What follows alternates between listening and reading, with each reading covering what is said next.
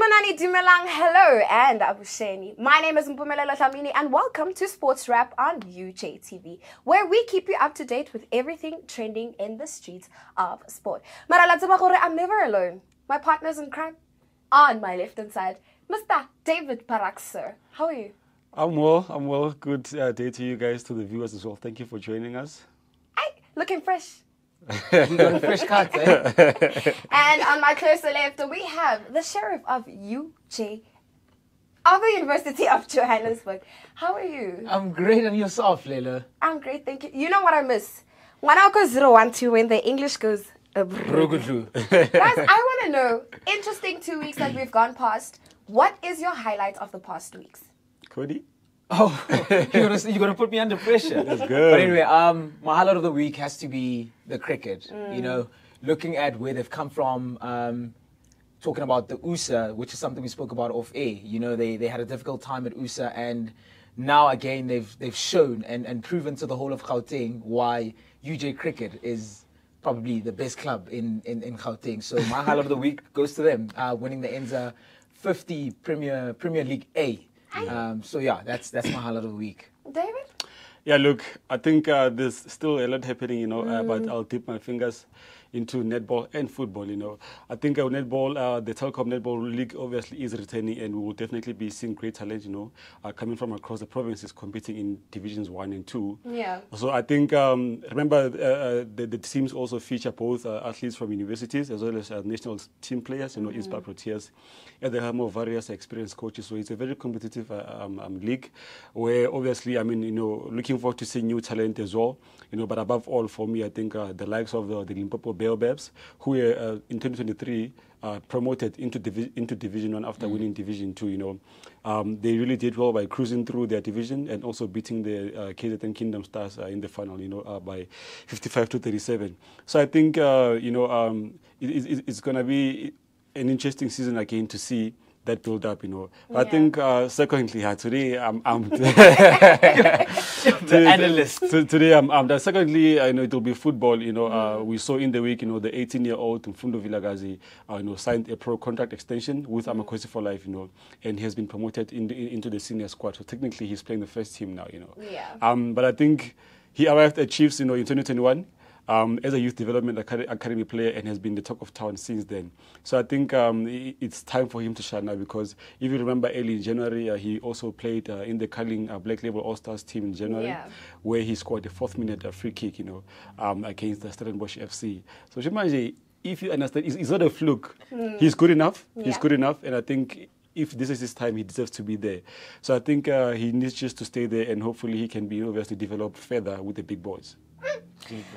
Yeah, it sounds like a lot. It sounds like a lot, also he's, he's going into a, a system that's that's uh, shaky, hey, and, uh, and uh, I'm I'm looking forward to seeing how he's gonna actually help the team get better. I'm sure he will. I'm sure he will. as a fan. But let's see. Let's see. And my highlights of the week has to go to the SPAR Proteas 2024 squad by the likes of Boitumelo Mashoko, yeah, Tale Mate, as well as Owethu Ngubane. most I mean, coming all the way from UJ. yeah, Lando, it's beautiful Massive. stuff. Beautiful to see. Massive. Beautiful to see. But let's have a look at this week's results.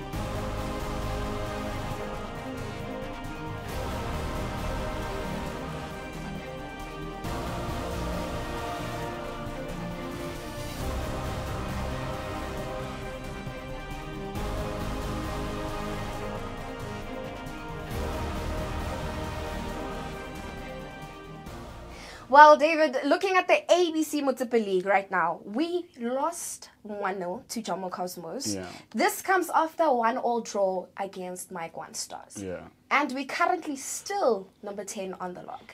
Yes. What does this mean? One more look, game? Um, I I did, I was not shocked by the results against Mm. Jomo Cosmos, you know, but who would have thought, you know, uh, 33 games later and the league is ending. Mm-hmm. Um, it feels like just yesterday, you know, uh, when I said at the beginning we've got 32 games to go. Yeah. Yeah. Now they are all past. We've got one more game to go. Look, the UJ uh, senior men's football team started the league really bad. We all know that. You know, uh, we lost a goalkeeper coach uh, and a strength and condition coach also during the season. Um, but the story is sweeter today because currently we're sitting, you know, in tenth position with one more game to go, playing tomorrow.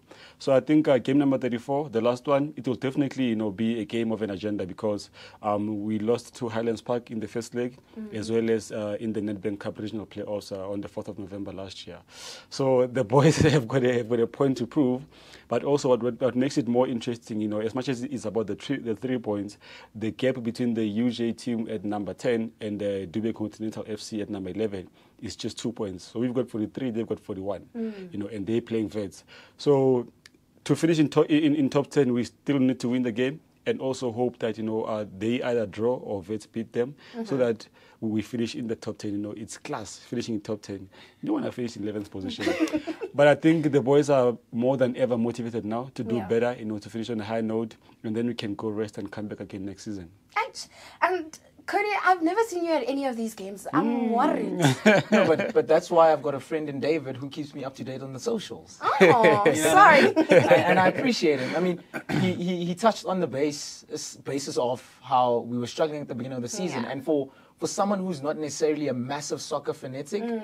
we sort of cancelled soccer out. Yeah. I mean, we were hurt from the varsity uh, varsity football that we lost, and now going into the season, they went in and they lost pretty much most of the games. Yeah. And for them to now be tenth on the log, it's it's it's quite impressive with all that they've been dealing with, losing coaches, Yeah. and we know we we produce players for the big teams, and Yeah. I'm sure we've lost a couple of players as well. so for them to end up tenth um, with the start that they had, um, I'm absolutely chuffed with the boys. I'm happy. And David, I want to know what's next from here after ABC.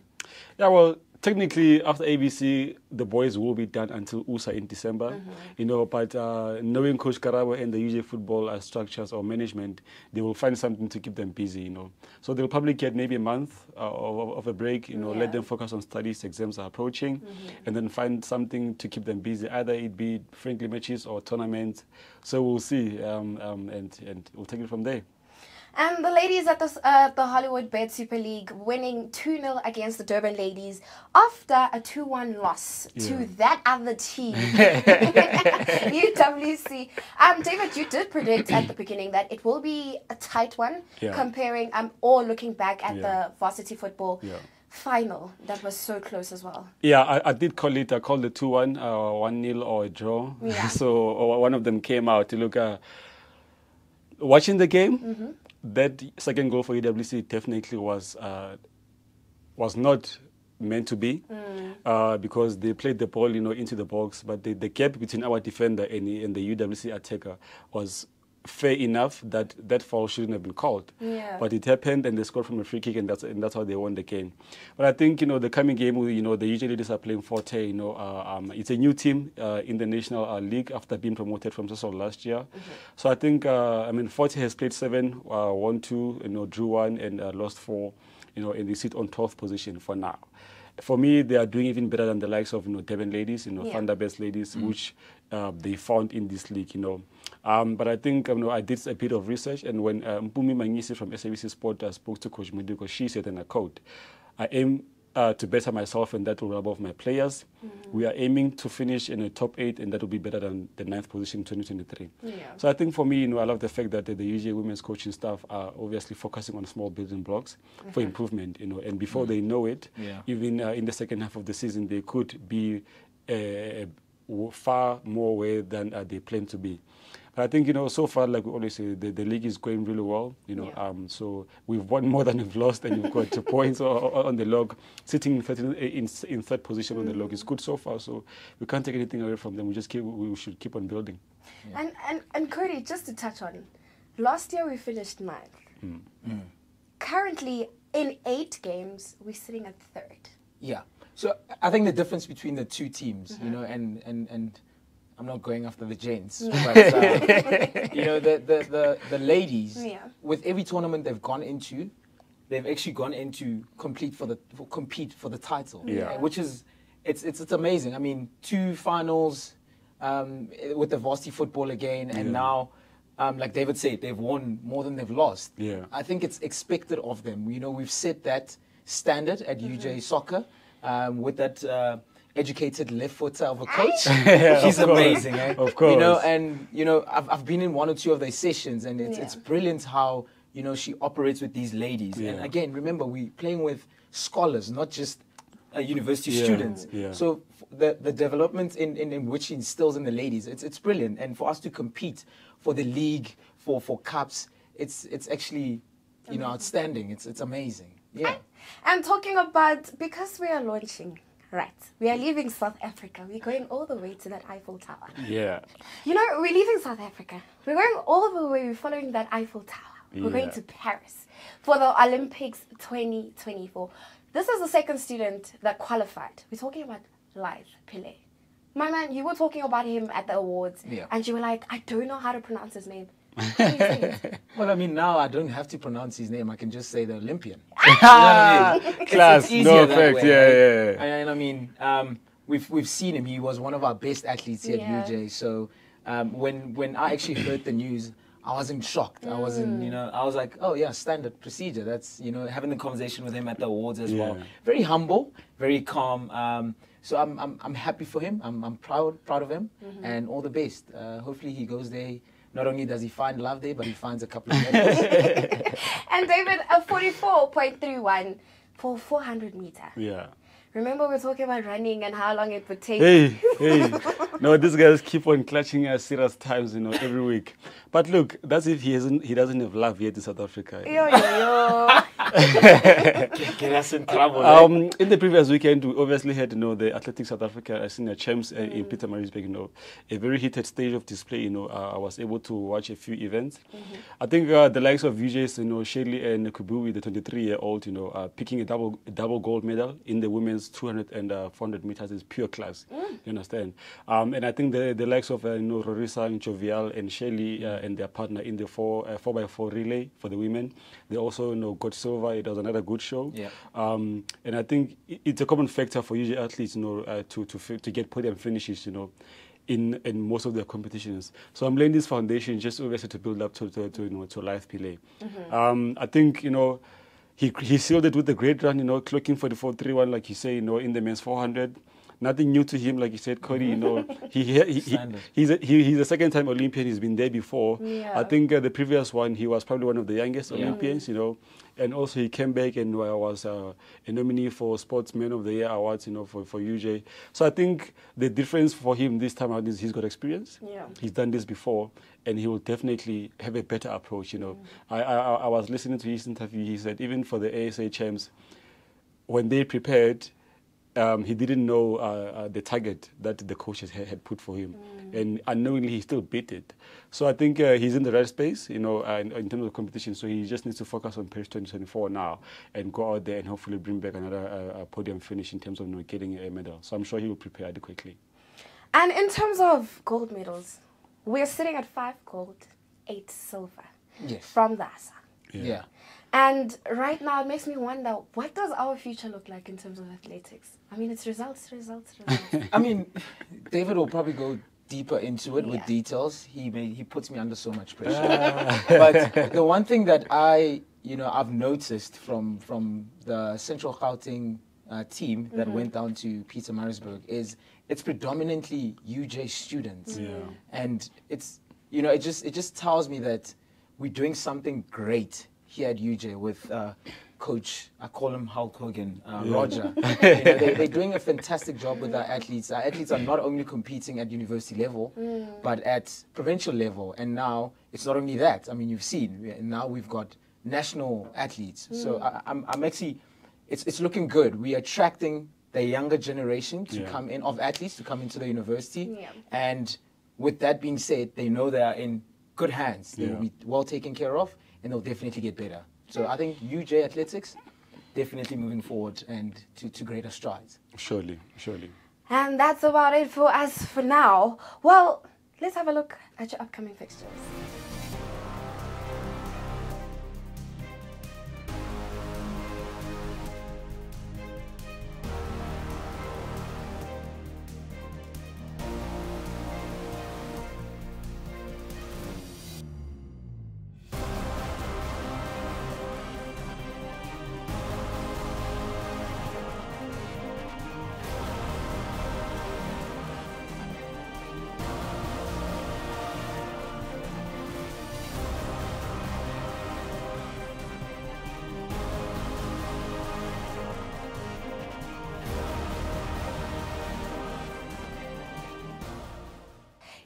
Like about today's episode?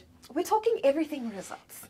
But not forgetting that rowing participated in the USSA 2024 sprints, where they overall finished third, but meaning the ladies finished third in their category, Yeah. one gold, five silvers, and three bronze. Then we move right along to the men, finishing sixth in the overall category Yeah. Yeah. with one silver. It's expected, eh? I mean, they, they train everywhere they go. Every chance they get, they train. I mean, we were at the the, the, the, the show we had the collab between the French embassy and the UJ UJ Sports. Yeah, Guess what they were doing? Training. They were training. It's quite impressive. We were playing against Wits, at Boston's Cup. Varsity Cup. What were they doing? They were training. training. so it's like all of this is expected, of, Yeah. you know, Yeah. of them. I'm a little bit disappointed with the gents' uh, sixth place, uh, sixth place uh, position uh, finish. Uh, would have expected a little bit better, but of course, everyone else is is preparing in their own way. Yeah. Um, but it's rather unfortunate that they finished where they finished because you know us UJ, we expect nothing but podium places. Yeah. So well done to the ladies and the gents. I think now they must just also come to all the rugby trainings and, and, and train as well, so that they can get that podium place. But um, absolutely chuffed with them. And David, I I don't know if you ran away from water or you you're part of it. I too sweet. yeah, look, um, um, not necessarily, not necessarily that I'm running away, you know, but I think uh, a, a bronze finish, you know, for overall Yeah. is a good reflection for me. You understand? Um, I think looking at both the rowing squads, I'm seeing a lot of new faces, you know. So in my view, it's the, it's, uh, it's, it's the young teams, you know, Yeah. uh, new players still getting used to the systems at this level of competition.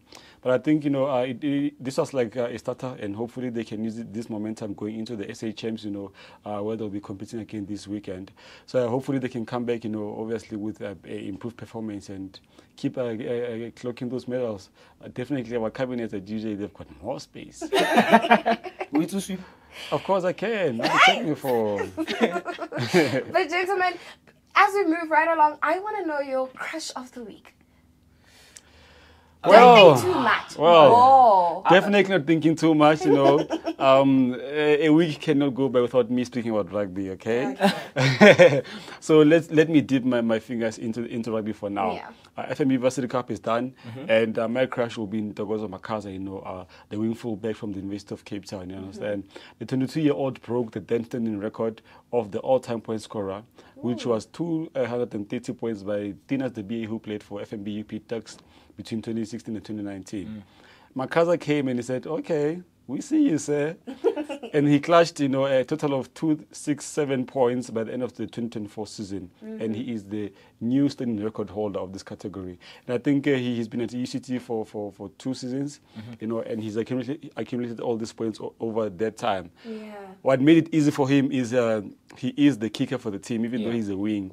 Something very rare to see for a wing to kick. Usually, you kick with your fly half, your fullback, or your center if you know push comes to shove. Yeah. But UCT is kicking with the with the wing, something new. But he is definitely uh, getting those percentages uh, uh, right all the time. Whenever he kicks, you you are assured he's going to go through. Um, in the game, he misses at least one kick out of five or ten. So well deserved. And I think he is definitely deserving of greater heights. And hopefully, Yeah. there is a province that is definitely discussing his uh, future. Cody? Um, you know what? I'm gonna I'm gonna go into back into the netball. Yeah. Um, I think for me, my crush of the week goes to Tale Mate. Yeah. Um, also because I've, I know a bit about her story. She Yeah. she went through a massive injury. Yeah. And for her to come back into the game and be included in, into the SPAR Proteas squad, Definitely, yeah. um, I think that's incredible. um, and it's an inspiration to a lot of athletes who, who who might be going through the same thing that it's it's it's not done. Yeah, you know, it's he missed out. She missed out rather on the varsity 2020 netball, 2023, and yeah. she she was quite upset. You know, and for her to miss out on that and then now come back and don the the, the green and gold, um, I'm proud of her. Tale. Well, my crush of the week has to go to Lekona Finger. We've been discussing this Oh. from the beginning. Varsity Cup is over and we are still back discussing it. Well, he won the Rookie of the Year 2020-24. Yeah. And thinking about it, first time in the Varsity Cup setup, Yes, ma'am. winning Rookie of the Year. Not starting at Young Guns, no. Straight to the first straight Straight- to the first.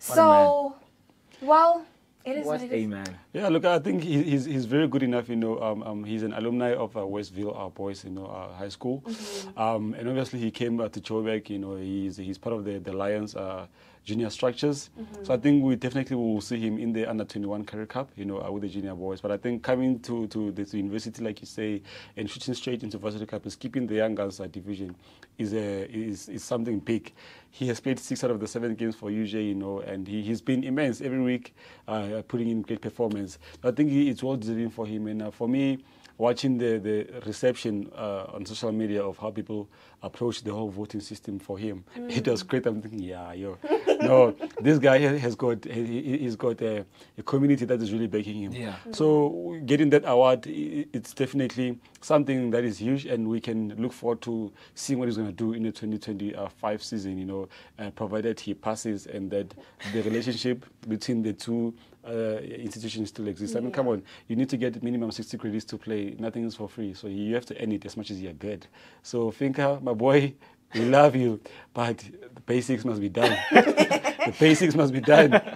Let, let's leave it right there before we start stressing our student athlete. But thank you very much for tuning into today's episode. Please make sure to follow us on all our social media platforms. We are UJ underscore sport as well as UJ TV 23.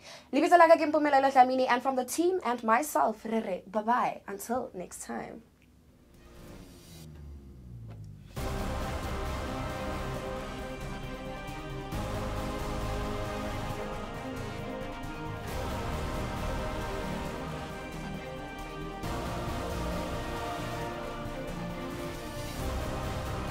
The University of Johannesburg, the future reimagined.